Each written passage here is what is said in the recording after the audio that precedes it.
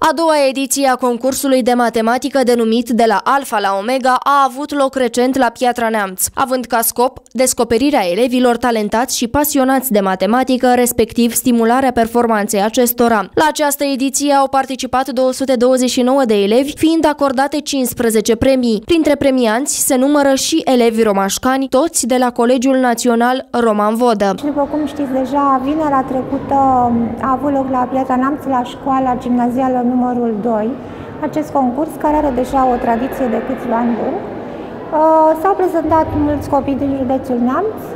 Pot să vă spun că subiectele au fost interesante, adică au fost peste medie și sigur că nu a fost foarte ușor uh, de obținut un punctaj foarte mare. Uh, avem câțiva copii cu mențiuni și mă gândesc în primul rând la Codruța Fălceanu și la Ștefan Surei, de la clasa 6 -a.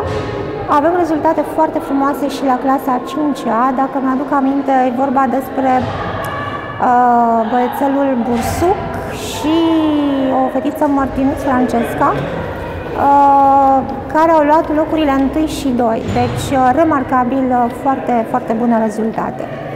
Uh, din păcate, concursul se oprește la clasa a 6 deci nu au mai participat copiii mai mari de clasa a 6 și cred că și rezultatele de la clasa 4 au fost foarte bune. Mihnea Buțiurcă și Federica Mărtinuț au obținut premiul întâi, iar Francesco Mărtinuț și Ilinca Alexandra Panaite locul al treilea.